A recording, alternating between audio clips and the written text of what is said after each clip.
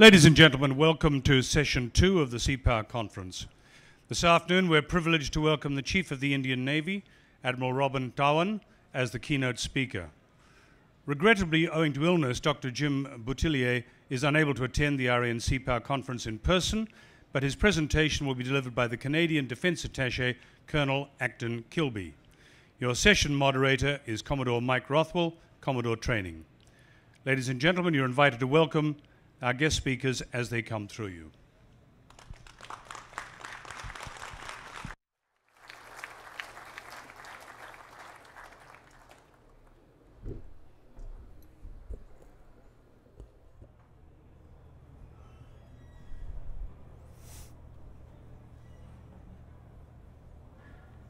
Admiral Tim Barrett, the Chief of Royal Australian Navy, Commodore Rothwell, Colonel Kilby, chiefs of navies from across the world, senior officers, flag officers, members of delegation, ladies and gentlemen. It is indeed a distinct honor and a proud privilege for me to be present here today for the Power Conference at Sydney and to address this august audience, which represents the collective wisdom of the world navies under one roof. And I will be speaking and presenting an Indian perspective on the maritime strategic thoughts on Indo Pacific Asia. The Indo Pacific Asia region is predominantly maritime with the countries of the region having a natural outflow towards the seas as they sit astride busy sea lanes of communication which transit through the oceans. And over the years, the region has emerged as the world's center of gravity in the maritime domain in the 21st century. The subject of the seas, therefore, enthuses all of us who have donned the white uniform. But I'm sure that it would be of equal interest to all others as well, because we are all tied and connected to the oceans. And I would like you to reflect on a very interesting biological fact that we all have in our veins the same percentage of salt in the blood, which is the exact same percentage as salt in the oceans. And this is true not only about the salt in our blood, but also the salt in our sweat and in our tears. We are all therefore tied and connected to the oceans. And whenever we go back to sea, whether it is to sail on it or merely watch it, we get the feeling of going back where we came from. This truly defines the relationship of humankind with the oceans, and perhaps the reason why talking about the seas brings out such passion in us. The Indo Pacific Asia region has been the vortex of intense maritime activity over centuries and has been used for spread of religion, trade, and linking of cultural links, and has emerged as a strong unifying factor in history. Today, the nations of the Indian Ocean region and the Asia Pacific Rim are home to nearly 60% of the world's population. The Indian Ocean, which is the third largest water body in the world, spans an area of nearly 68.5 million square kilometers and is rich in oil and mineral resources. 66% of the world's oil, 50% of the world's container traffic, 33% of the world's cargo traffic transits through the water of the oceans. And this figure is bound to increase in the years to come. This region has also seen the confluence between perspectives of two great strategists. Mackinder's heartland theory still stands tall, with the core being in Asia, albeit on land. Mahan, on the other hand, looked at Asia from the maritime perspective and predicted that the Indian Ocean would be the key to the seven seas, and in the 21st century, the future of the world would be decided on its waters. Today, we see Indo-Pacific Asia with Mackinder's heartland as today's Indo-Pacific Asia, with West Asia as the region which is the energy supply land from which oil is literally pumped out into the arteries which flow across the oceans, across the sea lines of communication to the energy demand land, which is today's South Asia, Southeast Asia, and East Asia. The Asian energy is indeed the driving force to meet the global needs, and the energy demand, as we all know, has doubled from 2000 to 2012. This region also consumes over 70% of the world's coal. The region is an economic powerhouse and is the fastest growing region in the world with an average growth rate of over 4%. It is the biggest trading region with 36% of the global exports and imports, and three of the top four world economies exist and are located in the Indo-Pacific Asia region. The region is characterized by simultaneous competition as well as cooperation. We have differing international views, we have divergent national view interests, but we also have significant trade partners. The Indian Ocean region, which, as I said, is the world's largest oil producing region, with over 1 million tons of oil flowing through the oceans every year. Another unique factor which distinguishes the Indian Ocean from the Pacific and the Atlantic Oceans is that 80% of the oil and trade which emanates in the Indian Ocean region is extra regional in nature. This implies that if there is any disruption of the oil flow or the trade flow, it would have a detrimental impact not just on the economies of the region, but the global economies as well. Safety, security, and stability of the Indo-Pacific Asia region is therefore of paramount importance as it influences the well-being and prosperity of all nations. The maritime challenges in the region are as wide and varied as they come. Who could have imagined and that in the 21st century we would once again be grappling with pirates or that the major threat in the maritime domain would be from asymmetric warfare and maritime terrorism. But terrorism as well as piracy continues to pose a persistent threat with a loss of nearly 18 billion US dollars to global economy per year on account of piracy alone, which has waxed and waned in different parts of the Indo-Pacific region. The other threats include arms trafficking, drugs trafficking, poaching, and human trafficking. And the challenges in combating non-state actors are because of the anonymity of the individuality and the intent and the limited options available to nation states. The regional instabilities and turbulence also have the potential to spill into the maritime domain, and the situation can best be described as fragile. As a result of the global warming and the climate change have started impacting on human and maritime security this has impact on the oceanic living resources due to changes in the salinity and the acidity levels, possible flooding of low-lying coastal areas leading to loss of national territory. The region also is prone to natural disasters and virtually lies in the eye of the storm of the affected areas and the affected zone because nearly 70% of the extreme natural events become humanitarian disasters with an increasing demand on regional capabilities for humanitarian assistance and disaster relief and maritime search and rescue. To effectively overcome the wide array of maritime challenges, we need to shape a favorable and a positive maritime environment.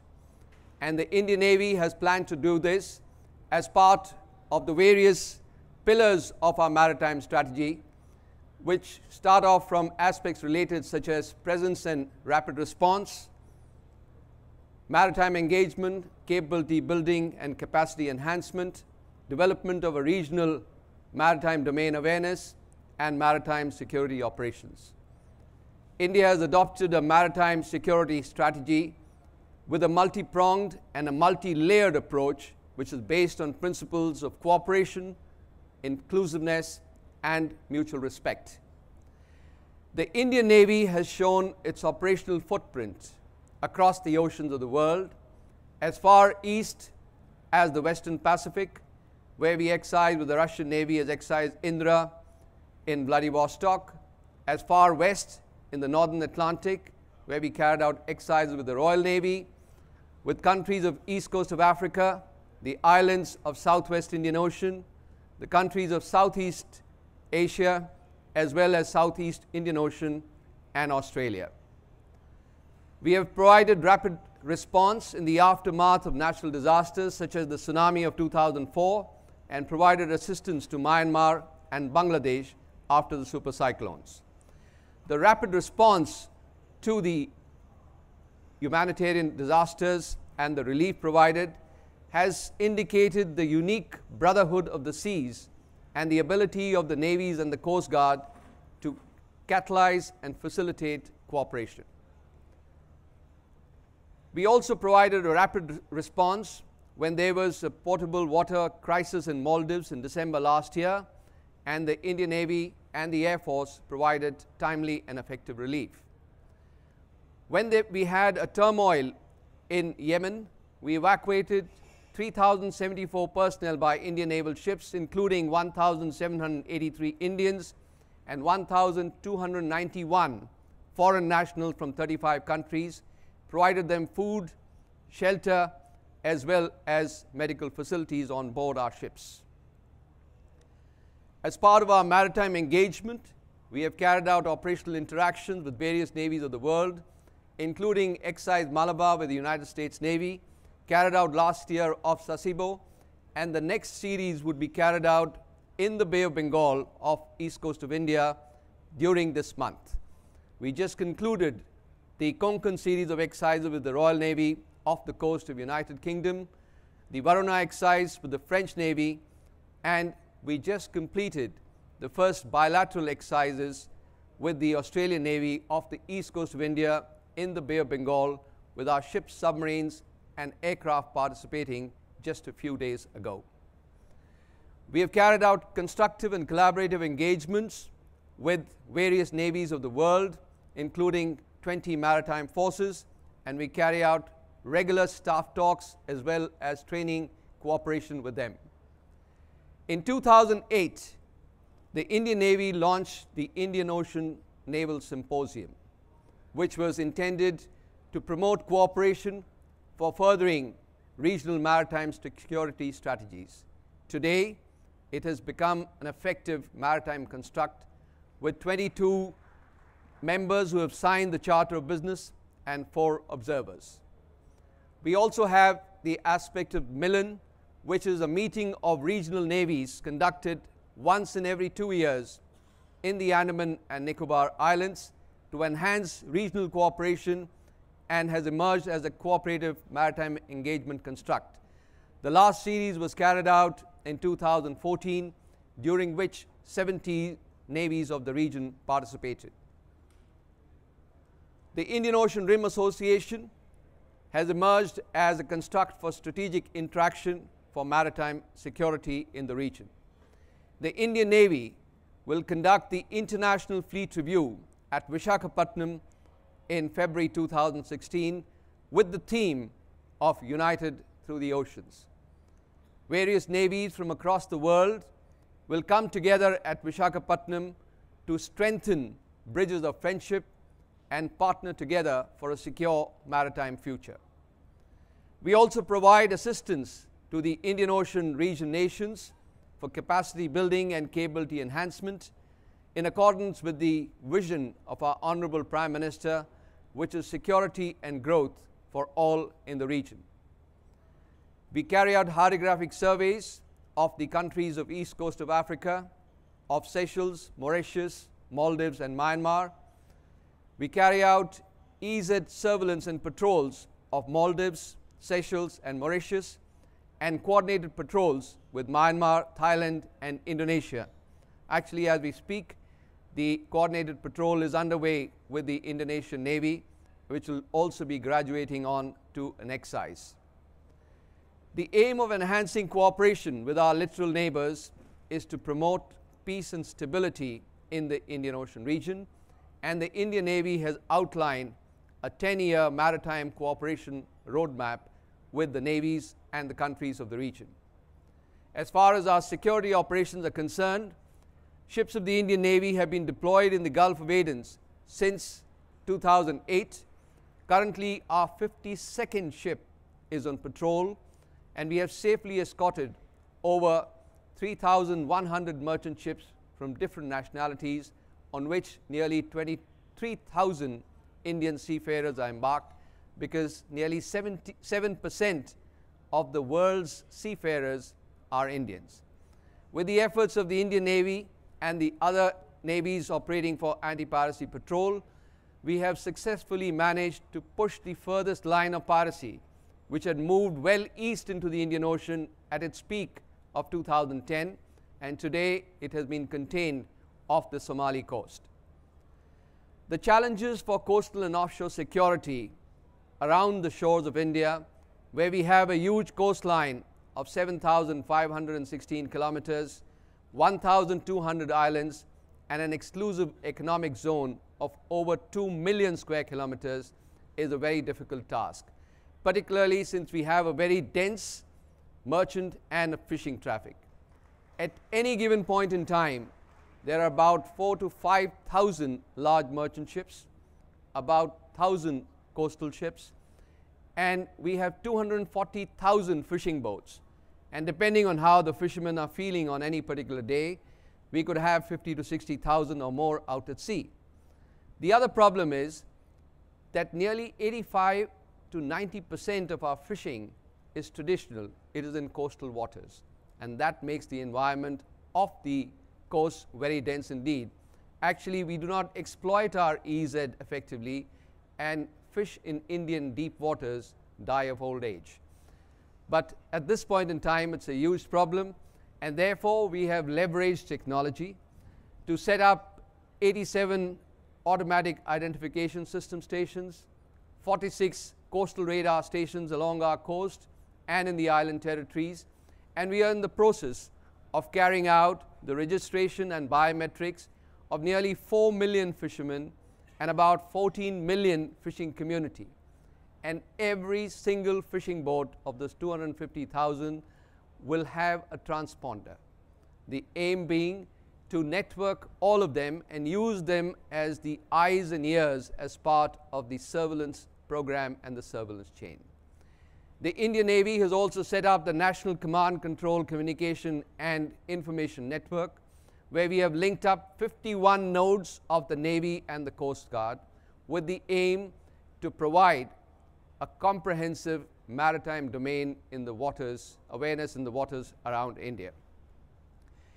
The Indian Navy has maintained a high level of operational tempo centered around the Carrier Task Force for Sea Control and submarines for sea denial and has emerged as a multi-dimensional networked force which is ready to operate across the spectrum of operations and combat ready to take on any challenge in the maritime domain in the 21st century.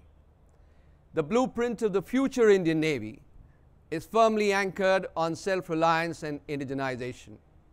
Currently, we have 47 ships and submarines under construction, all of them in Indian shipyards, both public and private. And these range from aircraft carriers to destroyers and submarines. The Indian Navy seeks to be a stabilizing force in the Indian Ocean region to promote the security of the global commons. Moving on to looking beyond the beach. Well, here I would like to say that increased globalization has led to growing vulnerability of the oceans. The seas are no longer a benign medium and are getting very challenging to operate on. And therefore, stability in the maritime domain is the shared responsibility of coastal states. Because the medium of the seas is very different from the environment which is faced by the army on the land and by the air forces in the air. And I would like to illustrate this with an example. If on a particular day the army would find soldiers from another army peering down the pickets, it would be cause for grave alarm because the land border has been violated. If the Air Force fighter aircraft had a fighter aircraft from another Air Force close to its wingtip, it will be cause for very, very grave alarm because the airspace has been violated.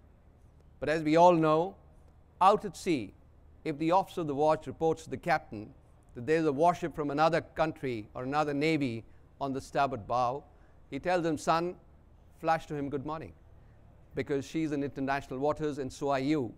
And therefore, the seas lend themselves for cooperation with other navies, and we need to synergize and have inclusive and cooperative efforts because no single navy, however robust, is strong enough to monitor the global commons on its own.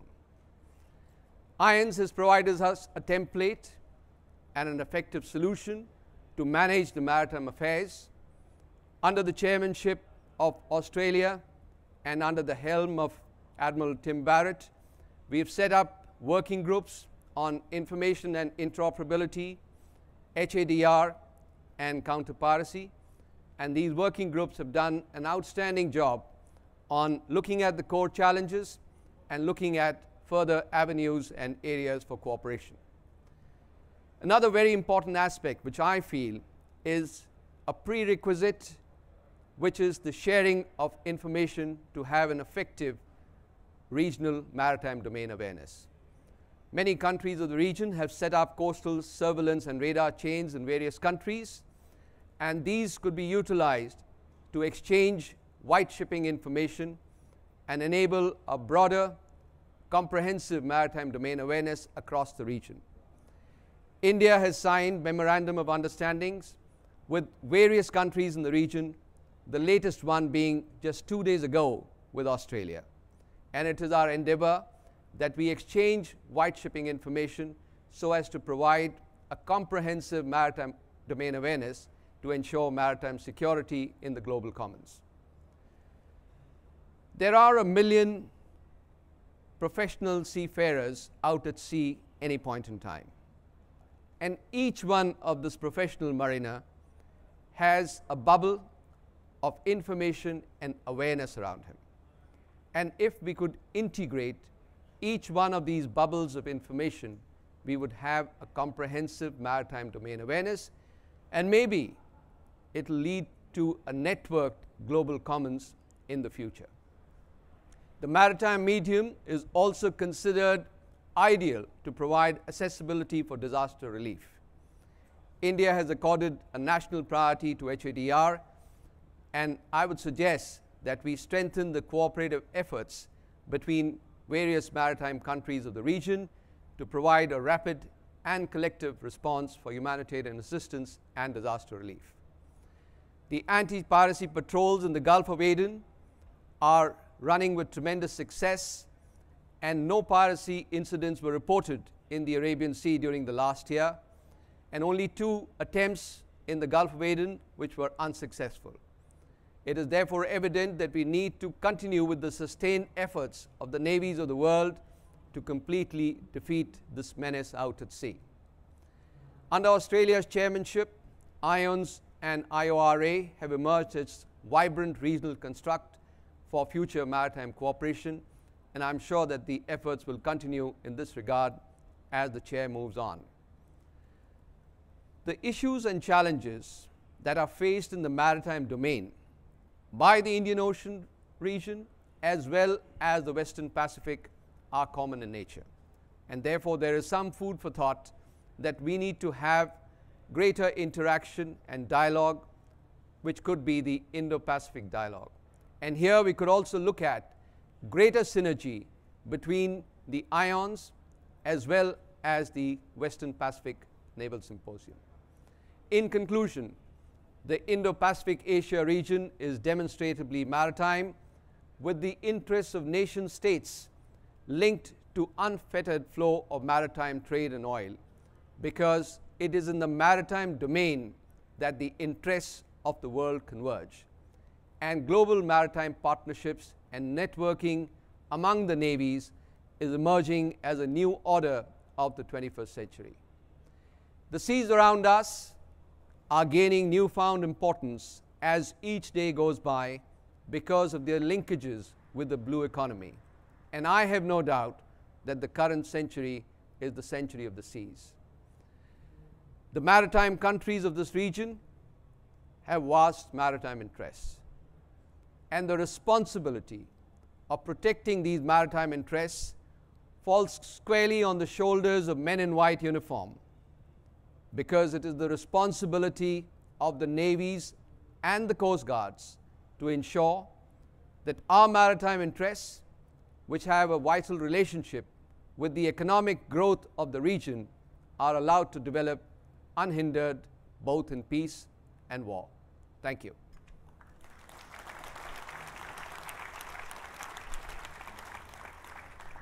Dhowan. Uh, Admiral Dhowan, thank you very much uh, for your presentation. Uh, ladies and gentlemen, uh, on behalf of Dr. Jim Boutillier, presenting The Great Game Goes to Sea, the contest for maritime mastery in Asia, please join with me in welcoming the Canadian Defence Attaché, Colonel Acton Kilby.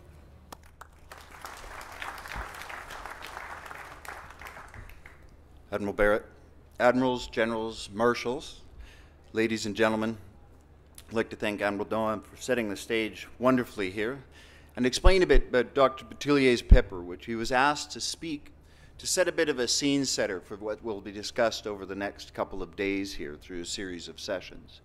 That I must offer at the start that um, Canada is in the process of election right now, so if you have any questions about Canadian policy, that um, I am not able to answer those in any in any form. That and the papers, um, the, the the views expressed in the paper are Dr. Jim Boutillier's. Those of you who know him would far rather have him here right now because of his animated nature and style. Um, but they are his and aimed at creating a discussion or a broader topic for all of you to, to follow. I send his regrets that due to health issues, Jim couldn't be here. He would far rather be here at this time. And I've promised him that I would openly admit, as an Army officer, that Mahan probably had a point and that uh, as an I might be a little bit wrong. The, uh, that goes back to a few years ago at school. So the, uh, I'll start off. The, uh, it's become commonplace now to refer to the way in which the world's center of political, economic, and military gravity has shifted from the Euro Atlantic to the Indo Pacific. This was and is a phenomenon of truly historic proportions, one characterized by its profound magnitude and uncommon speed. The Great Game, referred to Dr. Boutillier, was a contest of geostrategic advantage that played out in Central Asia in the 19th century. It was waged between an established empire, Great Britain, and an aspiring imperial power, Russia. Jim offers that a similar competition is unfolding today between a global power, the United States, and an emerging regional power, China. While the 19th century great game occurred ashore, what is different now is this game is taking place at sea. This time it involves not only unprecedented rise of Chinese naval power and regional arms race centered on missiles, submarines, and maritime air power, but is aggravated by an array of potentially destabilizing maritime disputes. While the principal excuse me, while the principal powers have attempted to engage one another, they have fundamentally different worldviews, and the relationship is characterized by a deep, deep-seated mistrust derived from cultural, economic, and historic factors. What is of significant note is an informal architecture of containment has emerged, and that is a united leading naval powers in the region in their anxiety and opposition to some Chinese maritime ambitions. The upshot of these developments is an increasingly, increasingly brittle and problematic oceanic environment that has raised the potential for hostil hostilities through miscalculation or even potentially outright war at sea. Jim offers that collaborative efforts are necessarily the order of the day, but asks Will the line hold as we observe the emergence of new maritime power structure in Asia? It's observed that the traditional hub and spoke systems of alliances has begun to morph into a more complex spider web of relationships in which traditional and newer naval powers have begun to interact across these spokes. This in itself creates a web of interactions that, although useful, can create challenges simply through their complexity. To add friction, the Sino American relationship is characterized by palpable, palpable levels of strategic wariness, while concurrently the two protagonists display an intriguing array of strengths and weaknesses. They're frequently misinterpreted through the lens of global competition and compounding this greater friction. Critical to this development in the Indo-Pacific region has been China's Damascene conversion, namely its realization of the importance of sea power as a national instrument. And as the ma maritime environment becomes increasingly problematic, the likelihood of serious miscalculations at sea continues to grow on a daily basis. But all efforts, it seems, to bring peace and good order to the region have been largely fruitless to date. As mentioned, the environment at sea is particularly challenging as a consequence of missile proliferation, cyber threats, and submarines. And these geostrategic and technological challenges give rise to a number of interrelated questions. What type of hostilities should regional navies anticipate in the future? What do these forecasts mean in the terms of acquisition of naval assets? What are the organizational and coordination mechanisms which may increase interoperability and cooperation? What does this mean, this situation, to the formulation of maritime doctrines and broader policy? And how do we all engage with China? It's suggested that the new great game is unfolding in Asia, and on this occasion, sea power is the currency of the realm. Where in the 19th century the game played out ashore, a new competition and power for power and influence is being played out at sea. It's a classic confrontation between great powers, but unlike the earlier contest, the game entails a multitude of players, all of whom have reoriented to counterbalance threats in the region. The Chinese, in their defense, see their actions as justified in the face of a rebalancing to the Pacific, feeling increasingly trapped by the dictates of geography and the actions of neighbors.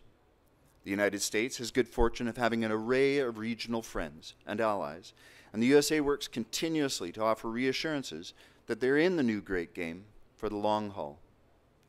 Meanwhile, in response, an informal coalition of naval, naval powers is emerging in the region, aimed at countering perceived and actual threats.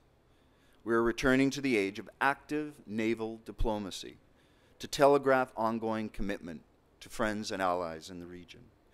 Naval exercises are increasing as a way to forge links, to encourage interoperability, and develop a critical awareness of sea power throughout the region, and perhaps open better channels of dialogue. This conference addresses the future of sea power in what is probably the globe's ultimate maritime arena. The paper was, was prepared to set considerations for what has to come it sets questions to ponder about what should be anticipated, what should be acquired, how we should cooperate, and what does this mean to the formulation of the future for maritime power in the region. What will be the face of this multi-dimensional world where the cost of naval assets are rocketing upwards, where the political will is seldom resolute, and where naval technologies are all all ev evolving at a breathtaking pace.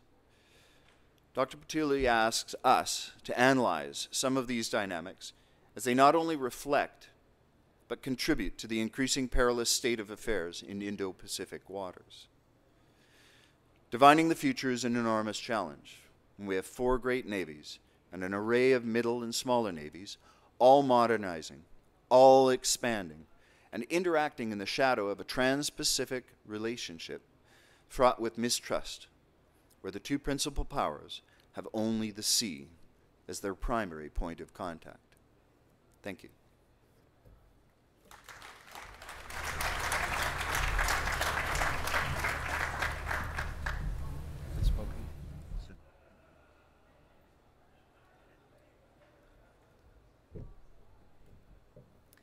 Well, thank you very much, uh, Admiral Dhowan, uh, and to uh, Colonel Kilby for presenting uh, Dr. Boutillier's presentation. Uh, the floor is now open for questions. If I just uh, remind you that Colonel Kilby is not able to comment on everything, nor is he the author or subject matter expert on his particular paper. If I could ask the same rules as for session one, if you want to ask a question, please raise your hand. Can you please just restrain it to a simple question? Uh, and please wait for one of the staff members from Sea Power to deliver the microphone to you. So, first question, please. Commodore Levy.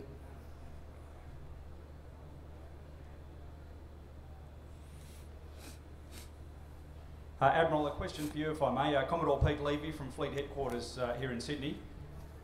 Uh, you mentioned uh, the increasing uh, move of your Navy into the Western Pacific, and you mentioned specifically the, the interactions and exercises you do with the Russians, and I know the Indian Navy's been involved in RIMPAC for the last couple of iterations as well. I wonder if you could expand on any plans you may have to um, increase the formal ties and your exercising with the ASEAN nations in that part of the world as well. Well, as I mentioned, the Indian Navy has a presence in the areas around uh, the country. Uh, particularly, we had uh, for the Southeast Asian countries, we had the ships of our Eastern Fleet, uh, which proceeded this year to Indonesia, Malaysia, carried out exercises SIMBEX, which we do with the uh, Singapore Navy. Uh, we currently we have a ship in Vietnam at this point in time, and the ships are on their way to visit South Korea as well as participate in the Japanese International Fleet Review this month. Uh, this is a uh, regular event for the Eastern Fleet where uh, they interact with the navies of the region. Uh, particularly, we do that in the Bay of Bengal because this is the largest bay in the world. And uh, we have uh, five countries which have contiguous coastlines India, Bangladesh, Myanmar, Thailand, Malaysia, and with Sri Lanka and Indonesia just outside uh, or on the edges of the Bay of Bengal, and we have regular exercises with them. And the intention is to engage with them for interactions uh, between the navies. We have certain training interactions with them. We carry out regular exercises. Where there are no scheduled exercises, we carry out uh, either coordinated patrols, as I mentioned, uh, with uh, Myanmar, uh, Indonesia, and Thailand, and uh, as I said, with Indonesia, we are upgrading the coordinated patrol to a bilateral exercise. So this is the, with the intention so that we can strengthen the bridges of friendship between the countries, as well as uh, the levels of interoperability and mutual cooperation. Yes, please, over here on my left. Uh, David Brewster, Australian National University. Uh, a question for Admiral Dhowan. Um, you mentioned the potential for greater interactions between IONS and WPNS. What, what is your thinking in this area? How do you see it happening? Well, um, uh, as I mentioned, if we, have, if we see the challenges, the issues uh, in the maritime domain, are quite similar, whether it's in the Indian Ocean region or in the Western Pacific region. What I had in mind was that while they retain their individual identity as two organizations which look after specific regions, uh, we have, as I mentioned, established working groups which look into general areas, whether it's humanitarian assistance and disaster relief, whether it is uh, anti-piracy, or as we mentioned, uh, interoperability, information exchange, and so on. These are common issues both for the Pacific uh, region, the Western Pacific, as well as the Indian Ocean region. So if there was greater synergy by the medium of these working groups, uh, we could have greater interaction because there are a large number of uh, members who are common. Indeed, there are a large number of members who are observer uh, members. And then we could all benefit from whatever the advantages that accrue by interaction in these specific areas.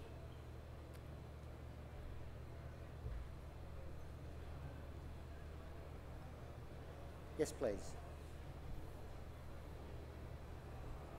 Thank you. Jane Chan from the S. Rajaratnam School of International Studies from Singapore. Hello, Admiral. A question to you as well, and a very similar question to Dr. Brewster's, um, because you suggested um, perhaps an Indo-Pacific maritime dialogue.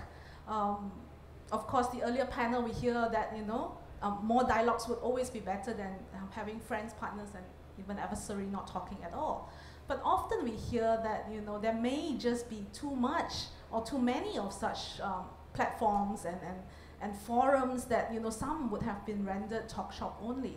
So in your mind, to allow for such forum to succeed, what would be the most important to be able to bring together perhaps IONS and WPNS? Would membership matter? Would, you know, the, eh, the ability to identify key issues really matter in that sense? Thank you. Firstly, I must go back to the point I made regarding the medium of the seas. I think the mediums of the seas unite, the oceans unite. Geography may separate us, land borders may separate us, but the oceans definitely unite. The environment out at sea is distinctly different. These are the global commons. You cannot start fencing a boundary out at sea. There are no it, uh, boundaries out in the high seas. So this medium lends itself for cooperation. The point I'm trying to make is that when you talk of an Indo-Pacific dialogue or you talk about a, a WPNS and IONS dialogue, the issues, the challenges are common. Actually, what I'm proposing is that not having greater organizations, but not really merging of organizations, but greater synergy between these various organizations. Because if we look at the challenges, let us look at this region, as we said, is prone to natural disasters. Actually, there are some figures that 70% of the world's natural disasters occur in the Indian Ocean region. And the reason for that is that because of the levels of population, because the coastals, there are a lot of people staying on the coast and they become natural disasters. I think HADR is an ideal example where the various navies or the aspects of the countries need to cooperate, whether it's in the Western Pacific, whether it's in the Indian Ocean region. When you talk of as aspects related to anti-piracy, when you talk of aspects related to information exchange, when you want to have an effective maritime domain awareness, the prerequisite is that you need to exchange white shipping information. India is planning to have MOUs with 27 countries of the world for which we've got our government clearance and approval to exchange white shipping information so that we can have a comprehensive maritime domain awareness. Now, we would not like to restrict this to any particular region, that it should only be among the countries of this region. If the global commons are such that they transcend across oceans, I think then there is an opportunity that the countries and the navies need to talk to each other on these common issues. The other point I would like to make is that navies of the world Coast Guards, Navies, I'll put all of them in one category, speak the same language. And if there is an organization where the navies are talking to each other, the progress there is invariably much quicker than when we have many agencies maybe related to a particular forum. So this is another advantage of the maritime medium that the navies can talk to each other and perhaps look at the general challenges, general issues uh, which are concerning all the people either in the Indo-Pacific region or the IOR region itself or the Western Pacific and let's look at these issues together.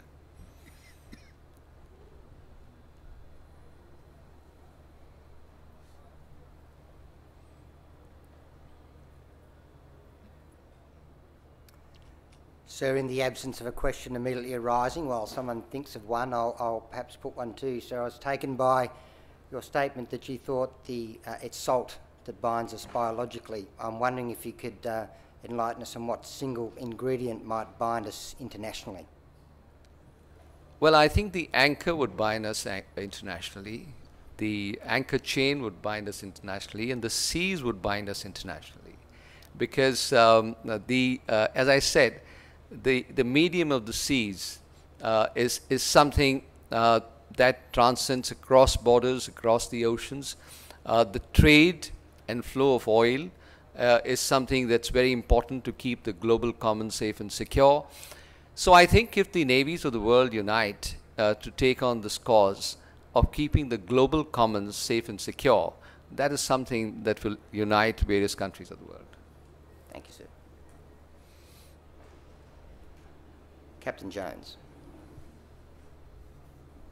Justin Jones from the Royal Australian Navy uh, with a question for the Admiral. So you mentioned uh, India's Look West policy, or referred to it, and there's been some writing of late about uh, the Look West policy in terms of the Arabian Gulf in particular. Um, to what extent does that compete with, or indeed complement, the Look East policy that we've known about for some time? Well, um, uh, in India, we're certainly looking at uh, East and acting East uh, but that also does not mean that we look only east. I think we are looking at uh, the maritime domain.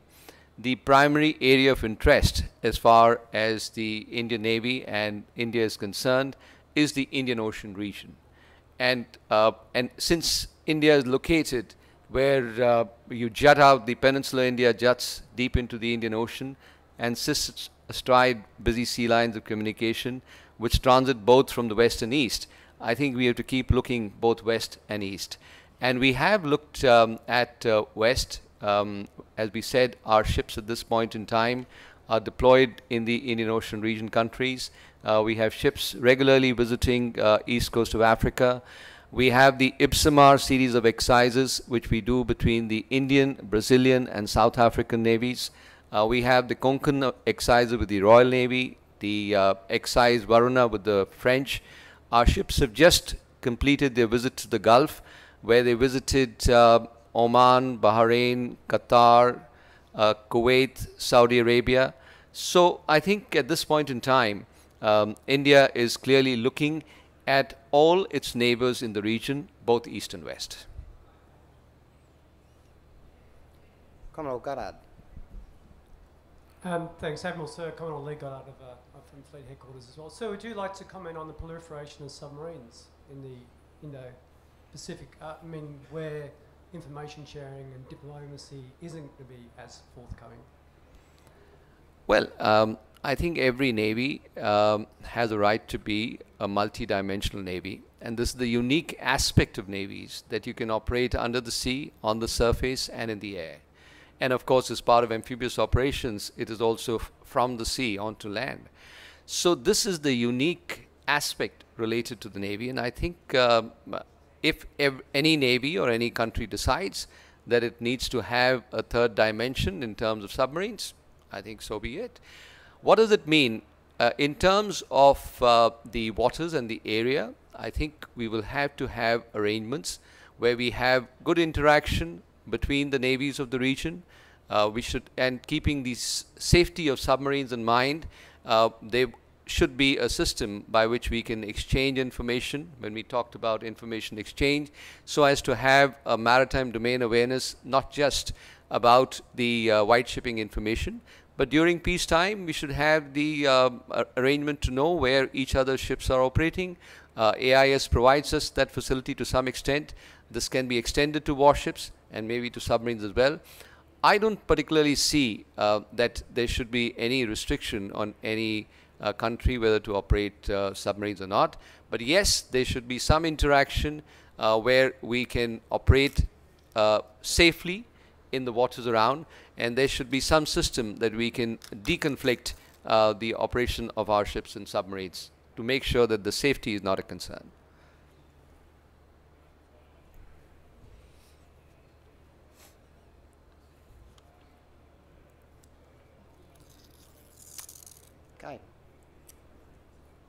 Thank you very much. Another question. Over to you, Desmond. Sorry, if you could hold there, Desmond. I do have a question at last minute, so we'll take that question. Over here, please, on my right. Thank you. Uh, Dana Papuk, Department of Defense. Um, Admiral, I was just interested in your view of uh, China's uh, ongoing maritime presence and increase. Thank you. Well, China is a maritime nation with vast maritime interests. Uh, we have seen the growth of the Chinese PLA Navy uh, in every dimension in terms of its ships, submarine, and aircraft. A large amount of China's trade in terms of oil and trade transits through the Indian Ocean region. And uh, to protect its maritime interests, China deploys its ships as part of the anti-piracy escort force in the Indian Ocean region and has been doing so since 2008. Uh, currently, we have the 21st anti-piracy escort force in place. And I think all this is part of the plan to safeguard its maritime interests since a huge amount of trade of China and oil transits through the ocean. Uh, this is um, the way of safeguarding the interests. And um, I think this is in uh, accordance with what their national priorities and the tasks and roles of their navies are. So we do have time for another question, should anyone wish to raise one.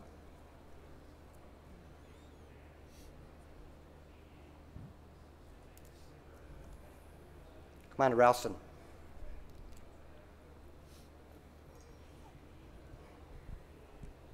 My question is to the Admiral, sir. Commander Ralston from Training Force Headquarters, Royal Australian Navy. Uh, I was very interested in your uh, concept of using the fishing boats as a, a surveillance tool and fitting each shipping boat with a um, transponder. I was just wondering what your expectations of that as a surveillance medium are. Well, I must say that it's uh, not an easy task. It's been quite an Herculean task. But uh, as you're probably aware, the Indian Navy was um, designated as the lead agency uh, to coordinate various aspects of uh, coastal as well as offshore security uh, around the waters of India. We have about 16 different agencies which operate in the maritime domain. And the task is uh, huge because, as I said, we have 4 million active fishermen, 14 million of the fishing community, and 250,000 fishing boats. So we went about uh, in a systematic manner. We've set up the AIS chains. As I said, we have 87 of these stations all along our coast in the Andaman and Nicobar Islands, which are in the Bay of Bengal, off the Lakshadweep Islands, which are off the west coast of India, and the radar stations. Having done the aspect of leveraging technology, how do we ensure that all the 250,000 fishing boats and all the fishermen, about 4 million of them, uh, would be compliant with this? So first, we sent the Navy and the Coast Guard actually on foot and at times on motorcycles or whatever came their way to visit every single coastal village on the west and east coast of India to speak to them in their language because in India we have many languages and they had to speak to them in their language to try and understand why they should comply. We made them understand that firstly it is for their own safety because we have very rough weather during the monsoons and we normally get telegrams from the coastal states that 150 fishermen are missing. So we told the fishermen that normally we don't know where to look for them. So in case they had these transponders, in that case we would be able to detect them and therefore they became willing to get registered to get these transponders. So now that uh, the compliance is actually looked after in our country by the coastal states, we have nine coastal states and the island territories. The compliance as far as registration of the fishermen is concerned, it's about 60 to 80 plus percent depending on different states.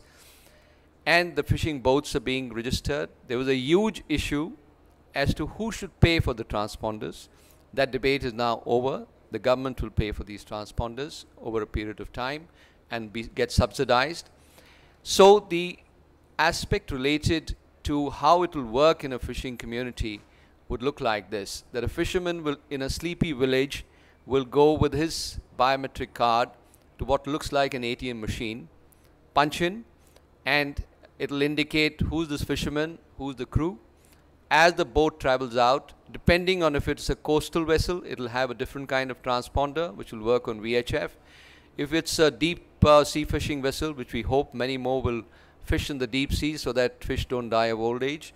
So as they proceed out, they will get linked in through the satellite. All this then gets connected through, as I mentioned, the NC3I network, the National Command Control Communication and Information Network, which is up and running at this point in time. And when we pick up, and this will then get reflected into the state maritime centers and the picture will get complied. How will it work?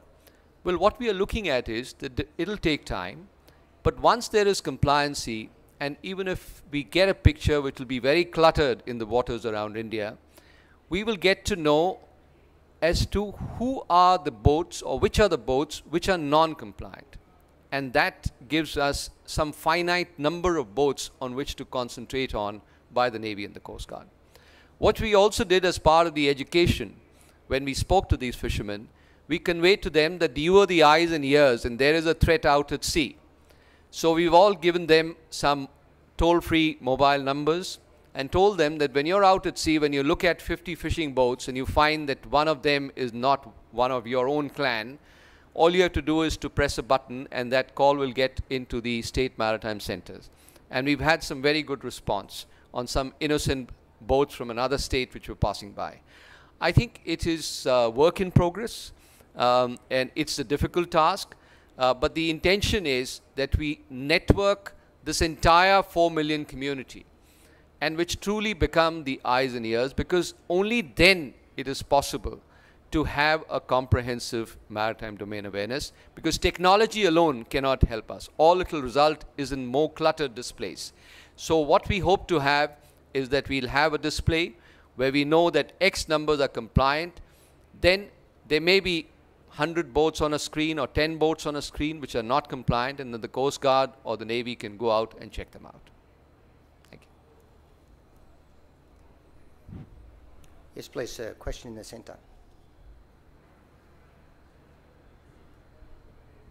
Good afternoon, sir. I'm Commodore Eshad from Bangladesh Navy. Currently, I'm looking after the Ion Secretariat, sir, in Bangladesh.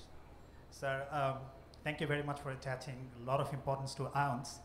And uh, now, sir, uh, as you understand, the charter of business in IONS is basically promotes more multilateralism and the inclusiveness.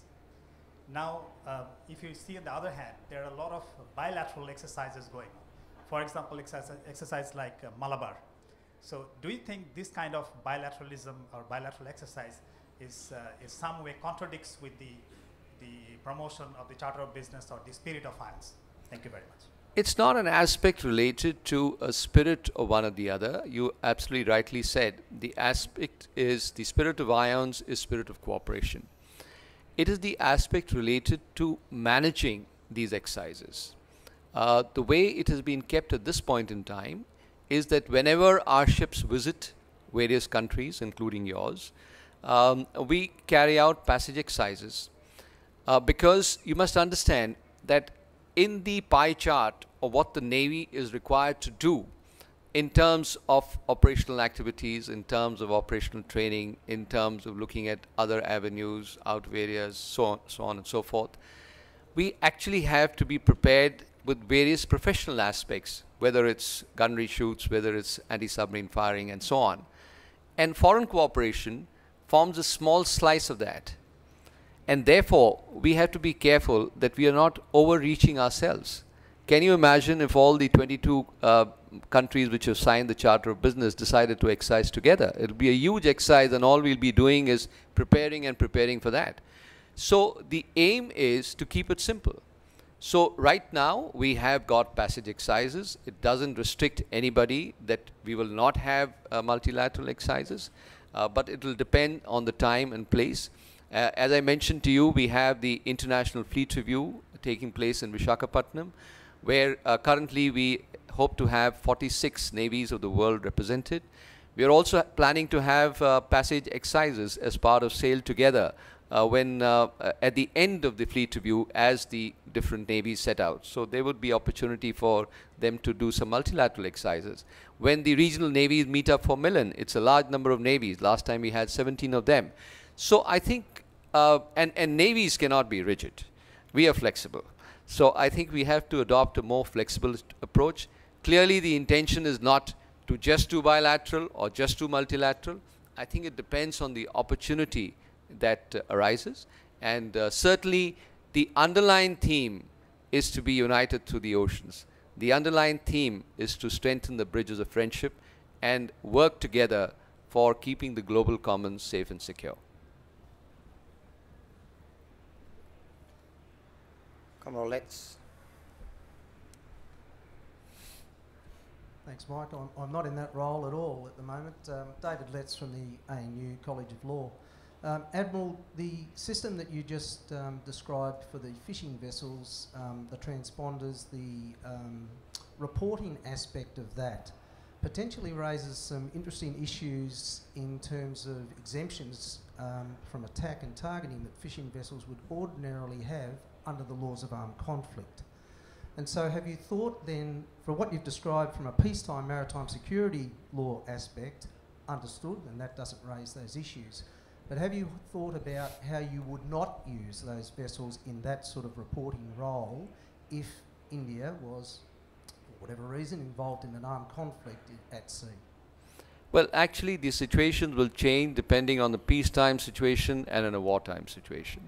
And uh, what we have looked at at this point in time is to set up a network where all these fishermen are actually compliant as far as getting us a comprehensive maritime domain awareness is concerned.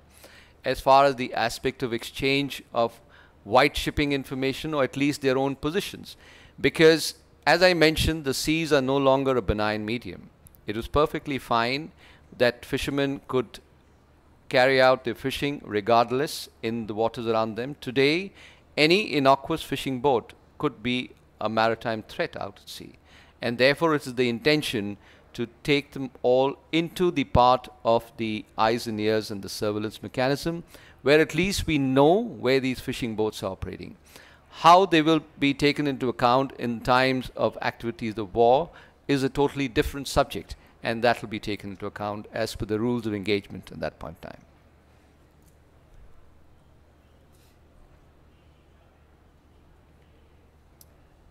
Thank you. So if there's no more questions, sorry, yes, please, here in the centre.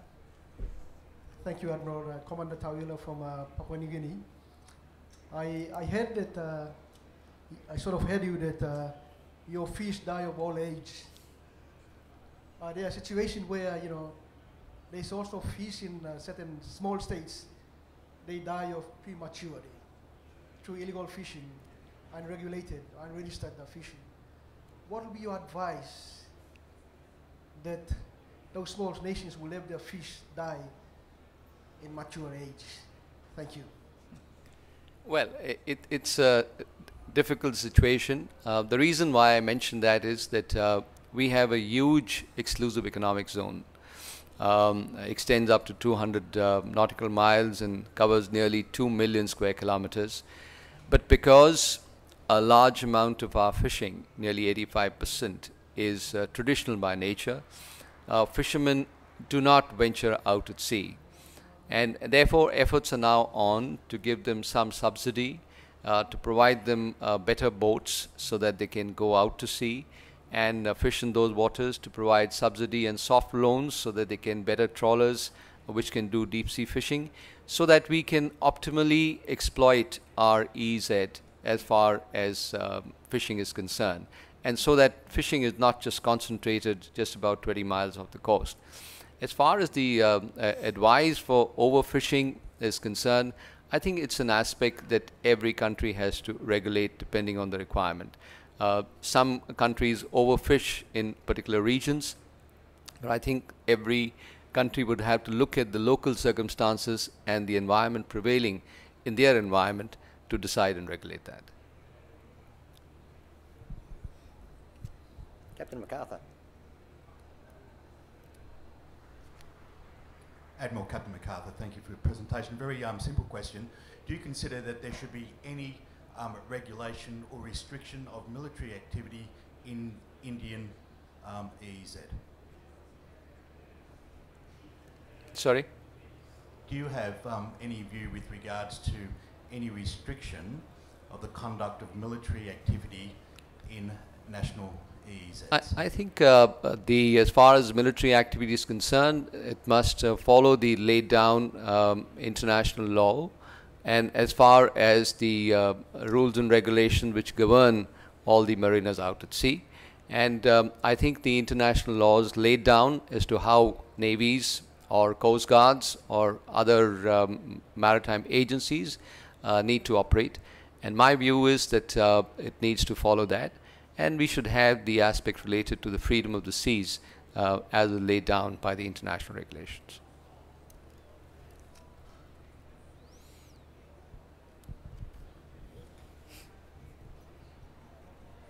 Thank you very much, Desmond. On this occasion, you now have the con. Ladies and gentlemen, th- that concludes CPAR Session 2, Day 1. Uh, once again, please join with me in thanking Admiral Dhowan and Colonel Acton Kilby.